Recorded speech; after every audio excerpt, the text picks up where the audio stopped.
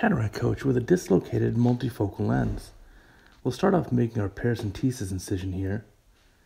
We'll need to put in iris hooks to see what's going on here. This is a patient with a multifocal lens and did well initially, and then noticed a decline in the vision.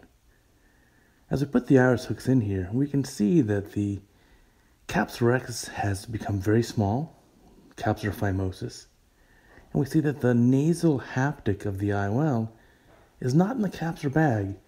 It's above the anterior capsular rim and it's scraping the posterior surface of that iris. So, certainly, we need to address this. We can't leave the eye like this. We use a sharp 27 gauge needle on our viscoelastic to get under that rhexis edge. Once we've separated it, we can switch back to a 27 gauge blunt cannula. We need to open up the capsular bag as best as we can in order to free up the IOL. And then we can grab that entire haptic and bring it back in the capsular bag. So here's the viscoelastic dissecting open the capsular bag.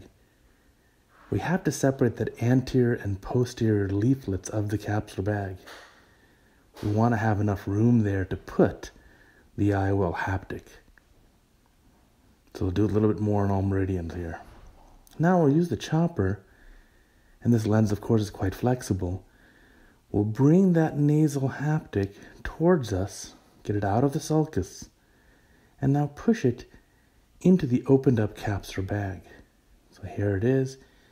Now that's appropriate. As the haptic goes back in the capsular bag, now we can easily center up the IOL.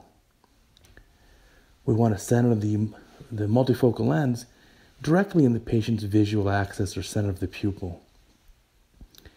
So that's good positioning right there. We should also probably open up this anterior capsular rim. We don't want it to become further phimotic in the future. So once we're happy with the positioning of the lens, we can rotate it a little bit, line up the Purkinje images, and then at the end here, let's check all of our incisions. So incisions look great. You do notice we have opened up the capsular bag.